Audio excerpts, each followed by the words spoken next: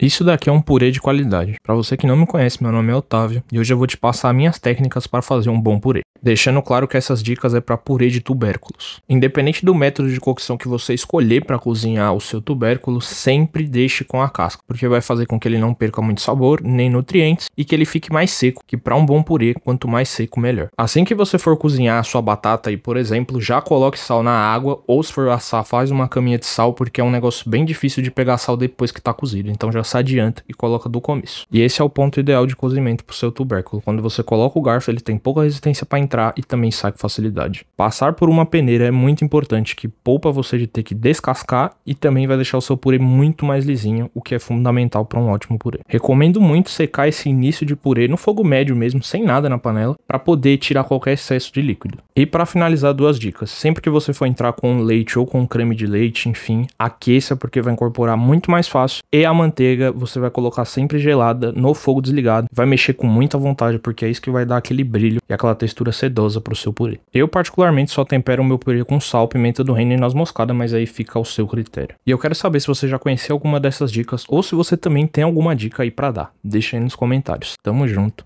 é nóis.